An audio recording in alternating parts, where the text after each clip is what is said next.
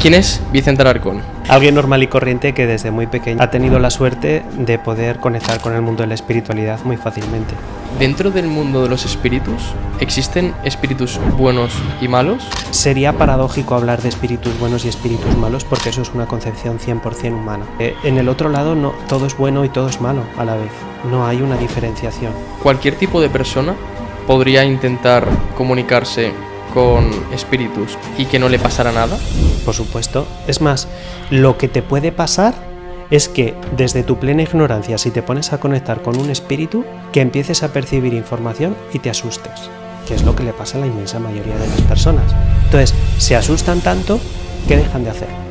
¿Qué sentido tiene, por ejemplo, que los tarotistas puedan predecir qué es lo que te va a ocurrir en el futuro? El que tú puedas decidir experimentar una realidad diferente. Yo desde el tarot evolutivo y lo que, lo que nosotros enseñamos en la escuela Sana Karma es que el tarot evolutivo te sirve para evolucionar, no para predecir lo que te va a pasar. Tú, por ejemplo, podrías intentar comunicarte con Napoleón, por ejemplo, y saber si ha reencarnado ya su ser. ¿Medium se nace o se hace? ¿O las dos? En realidad, todos nacemos como mediums absolutamente todos. Lo que pasa que hay personas que nacemos con una mayor predisposición y que obviamente si además en, la familia en la que naces pues, pues es habitual, ¿no? como ha sido mi caso, pues mm, desde muy chiquitito lo he podido desarrollar. ¿no? Pero absolutamente todo el mundo tiene esa cualidad y esa capacidad. Fíjate que decirte que he tenido la suerte de tener en mi despacho eh, a personas con síndrome de Down que también tienen esa cualidad podrías decir, ostras, ¿no? Mm, está enfermo o tiene un problema, pero realmente no. Y también tienen esa cualidad de la mediunidad. Entonces, eh, ¿cómo no te voy a decir que absolutamente todo el mundo la tiene? Porque es así, aparte de que me lo han dicho un millón de veces desde, desde ese lado de la espiritualidad, ¿no? Simplemente hay familias en las que mm, hay una creencia muy arraigada a nivel religioso o de creencias eh, espirituales muy concretas que primero hay que liberarlas para poder conectar de una forma más consciente a esta parte medium, ¿no? Pero totalmente. Claro, eh, era, mi siguiente pregunta era, ¿cuáles son las trabas que hace que si todos tenemos la mediunidad innata en nosotros, no nos permitan conectar con nuestra mediunidad? A ver, mm, hemos nacido en una cultura muy judeocristiana que obviamente todo esto eh, lo demoniza bastante, hasta, hasta el extremo de que eh, la Inquisición ha existido hasta el siglo XIX, si no me equivoco. Entonces, mm, hemos tenido una represión a nivel social muy fuerte, ¿no? Y que, bueno, eh, gracias a canales, por ejemplo, como el tuyo, ¿no? Pues todo esto se está empezando a, a, vivir de una forma totalmente diferente, ¿no? Pero algo que frena muchísimo son esas preconcepciones o esas ideas que, hablan de todo esto como algo peligroso o algo que te puede hacer daño cuando no tiene absolutamente nada que ver. Esto es una cualidad extraordinaria que la tiene absolutamente todo el mundo y que está ahí para ayudarnos a vivir mejor. Entonces, si tú eres capaz de liberarte de esa mala educación y de esas falsas creencias, vas a llegar a conectar de una forma consciente. Y eso te va a permitir tener una capacidad que te va a llevar a vivir mejor y a estar mejor a nivel personal.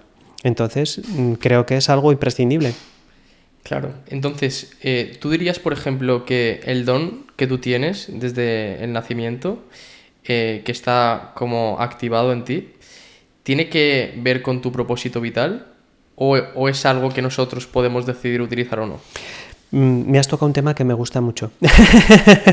a ver, no me gusta llamarlo don porque cuando hablas de don estás hablando de algo mm, extraordinario, ¿no? O algo que, eh, que, te hace diferente a los demás y no, no, lo considero así. Para mí es una cualidad o es una capacidad que, como te digo, la tiene absolutamente todo el mundo. Y en parte sí que siento que puede tener que ver con lo que vienes a aportar a este plano de existencia, pero fíjate que a mí me gusta hablar de algo mucho en los cursos, Christopher, y es que absolutamente todo el mundo todo el mundo nace sin ningún tipo de propósito de vida.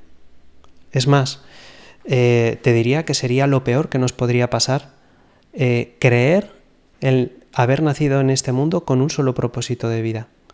porque eso querría decir que el libre albedrío no servía absolutamente para nada y que tu vida estaría destinada a vivir algo inexorable de lo cual no podría salir. Y eso, desde mi experiencia y desde lo que llevo vivido, te aseguro que no es así.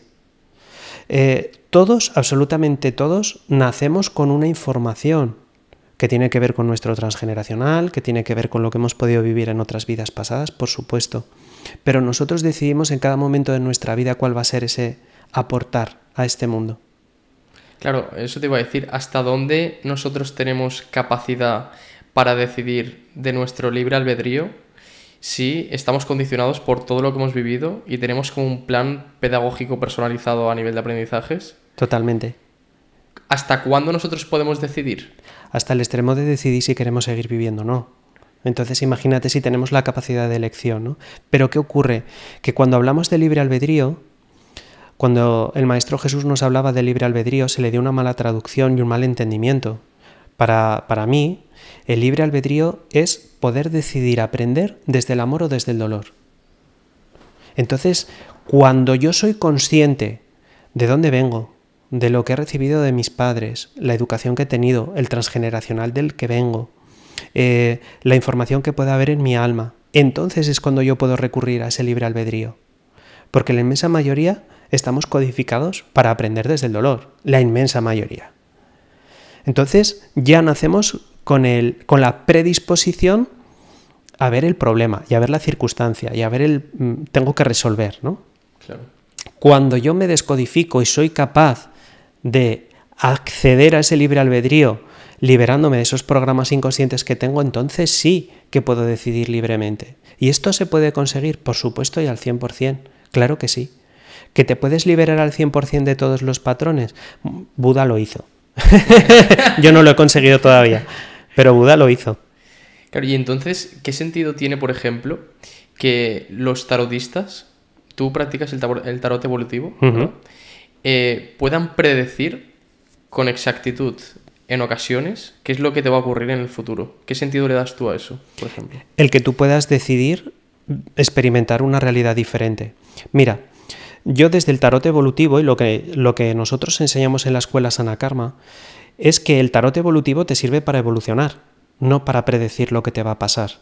Si hay una predicción, esa predicción tú la puedes tomar para decidir que haya una proyección diferente. ¿Esto qué quiere decir?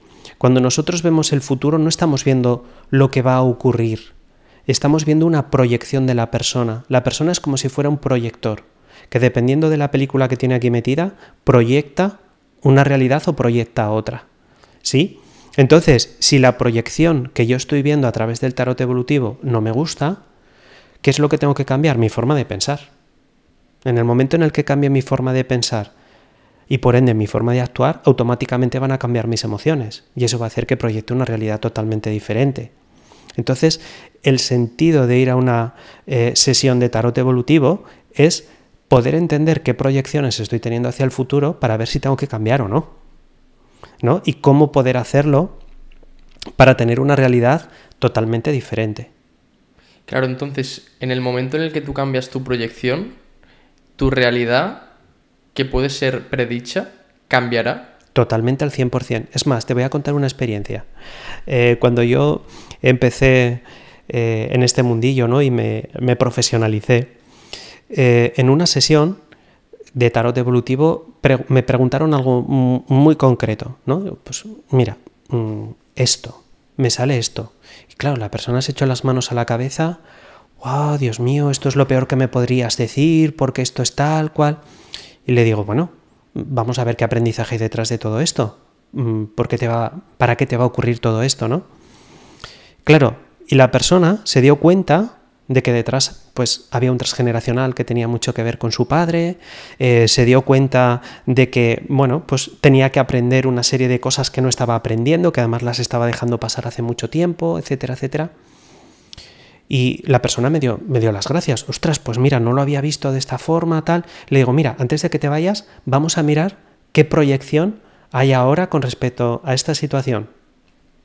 Volvimos a preguntar en el tarot evolutivo y la proyección que le salía era totalmente diferente.